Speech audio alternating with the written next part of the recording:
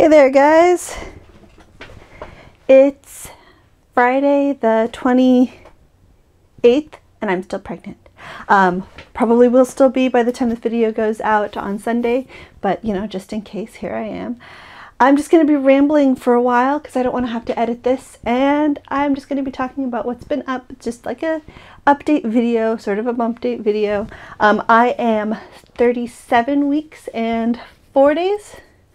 Yeah, um, so not much going on or moving. I've been having a lot of Braxton Hicks. They're very frequent but irregular, and some of them have reached as far as a one on the pain scale.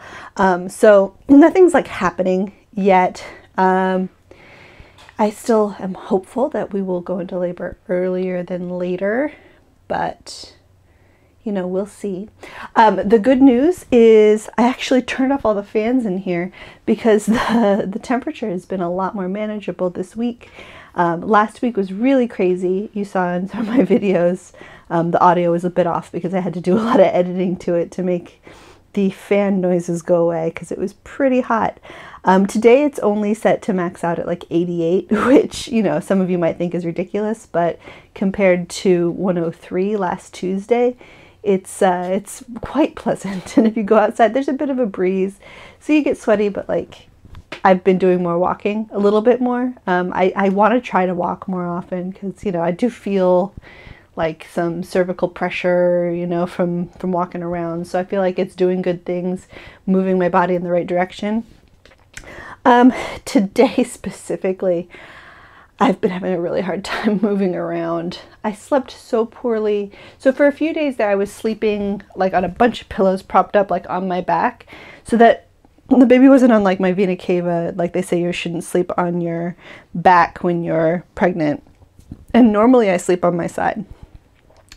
Um, so I was propped up because flipping over in bed is excruciating.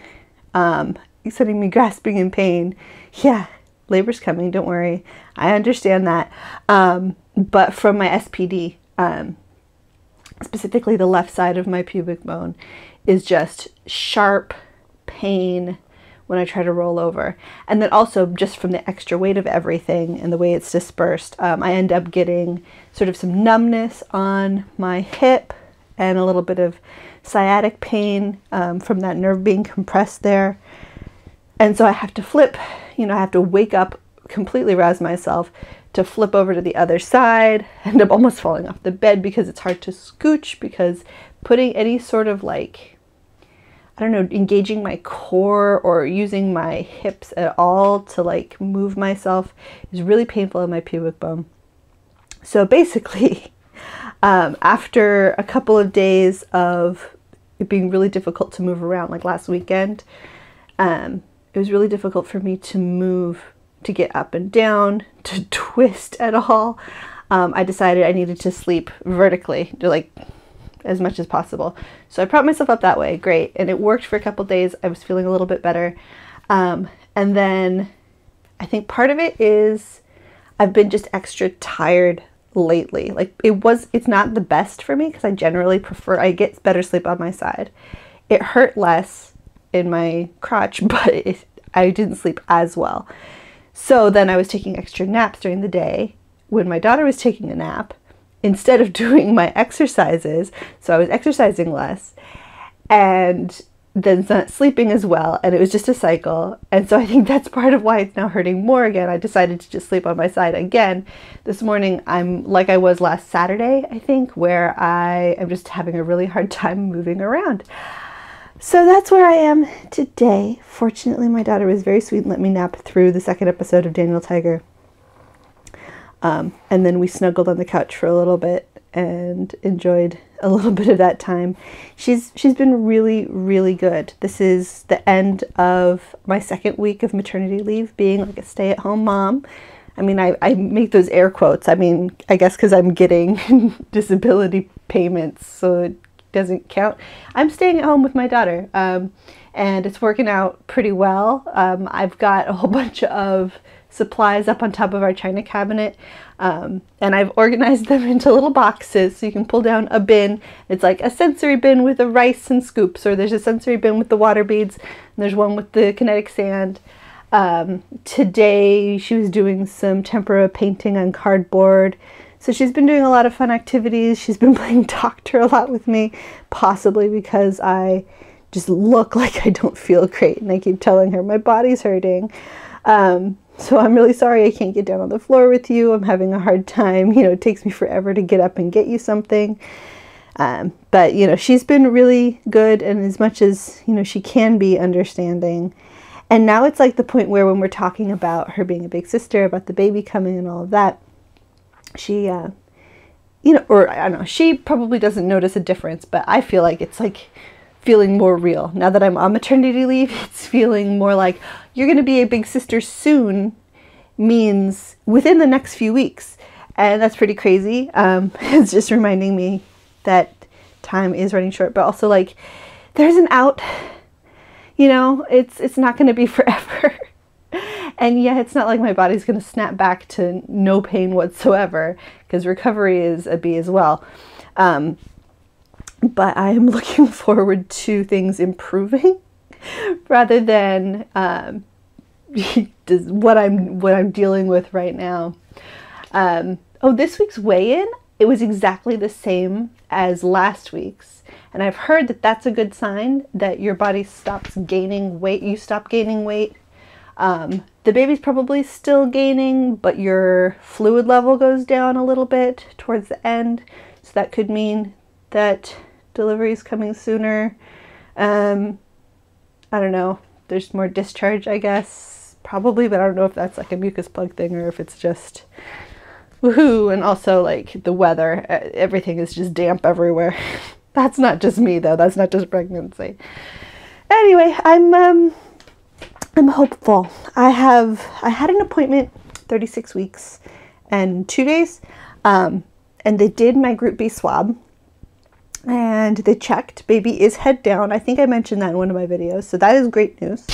Um, they put me on the surgery schedule for a repeat cesarean at 40 plus 4 and the more i think about it the more i'm like i don't know if that's enough time. I really want to give myself at least a 40 weeks 41 weeks um, so i think at my next appointment i'm going to talk to them and see if i can get that moved back um, or at least discuss like what happens if that date comes and i just don't want to consent to surgery that day.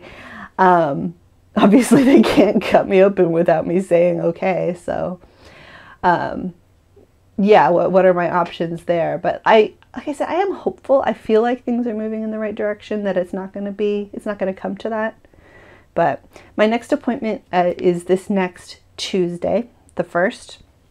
And I'm going to have to get my Group B strep swab again because they lost it. Um, so that hopefully, as long as that result comes in time. Um, next week, I'm also planning on starting a couple more extra things. I'm going to start expressing colostrum. I got some syringes to freeze some colostrum because I may as well do a little bit of nipple stimulation and get things moving that way. I've been taking my dates. I like dates, so that's good. Apparently, that helps ripen your cervix. Who knows? They're tasty. They're candy. They're vegetable candy, you know. Um, and there's one other thing, I don't know, just walking probably. And I really want to try to get better about the exercise thing. Um, I, I've enjoyed doing it while my daughter's napping because there was a period of time where she was just giving me a really hard time when I was trying to do it while she was in the room. She would get on all around underneath me. She was like, no, no, don't use the yoga mat. That's my yoga mat. And like pushing me around. And climbing on top of me when I was doing all four stuff. That was months ago, so it's possible that it wouldn't be an issue now. I just haven't tried. Um, and it's only five minutes, so I'll probably do that next. Once I finish filming here, I'll go do my exercise and then maybe try to get a little bit of extra nap in. Maybe do a caffeine nap. I have some iced coffee. That would be good. Basically, I've just been monitoring the weather. Um, it's currently 85 degrees outside and only planning planning forecasted to get up to 87 by the peak today so uh, we might go for another walk this evening my daughter is super into going on nature walks lately and just collecting every little leaf and a little pine cone and everything she can find. And baby rock, she says, Tell me if you see a baby rock. Um, so we'll probably try to do that again because getting some exercise in is good. And also sitting on this yoga ball, which I, it's in the office. It lives in the office so that Clancy, our vacuum cleaner, doesn't mess with it.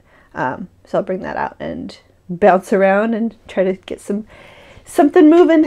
And uh, yeah, just you know, pray that I go into labor before 41 weeks, and then hopefully I'll be able to sleep again. You know, obviously not a lot or for very long, but more deeply than lately. Thanks for watching. Thanks for tuning in. Thanks for caring. It's very sweet of you. Um, I'm going to continue to post these little rambly updates with very little editing. Um, oh, my battery's almost dead, so perfect timing. I'll see you guys in the next video on Thursday where I'm going to be just sort of rambling about how my planner's going. So I'll see you in that one. So don't forget to subscribe and ring the bell. And I love you. Goodbye.